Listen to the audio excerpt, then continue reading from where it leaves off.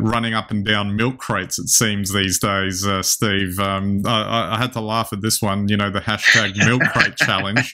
Um, the the crazy things that people get up to.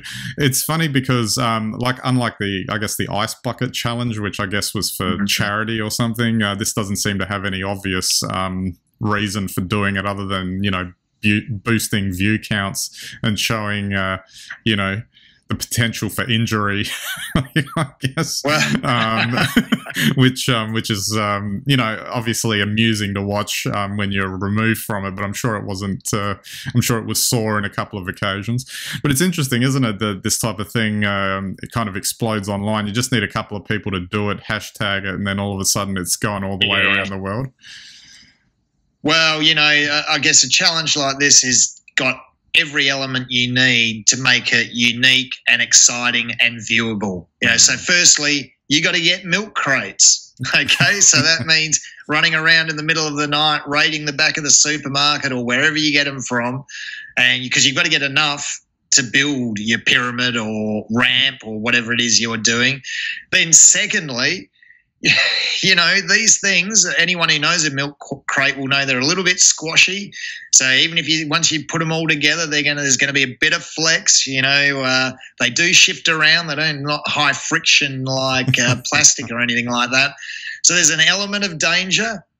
And where there's an element of danger and a camera, and things go wrong, you've got something watchable. Uh, so like, it's no surprise to me that this is rating well. Oh, absolutely. Um, ironically, though, um, the uh, I guess if you want to call them, the fun police have come out. Um, the uh, TikToks have fresh off the press this morning. I saw the uh, that TikTok had uh, banned it um, for you know I don't know what their legalistic whatever comments were around, you know, um, although it may may seem funny, it's resulting in some less funny injuries. I think was the wording that they used, um, yeah. and they obviously didn't want to be seen promoting that sort of stuff.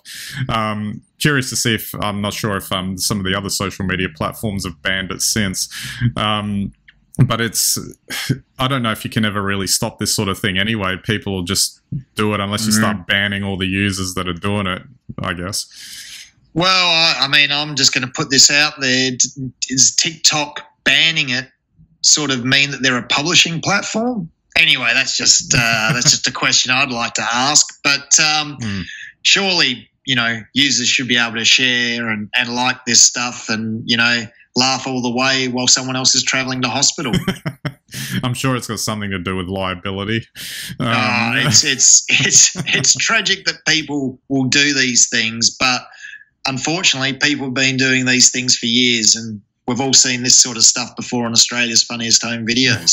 yes, indeed. And if anyone out there check the numerous um, compilation videos that um, some clever YouTubers have put together um, that uh, make for some very, very funny viewing.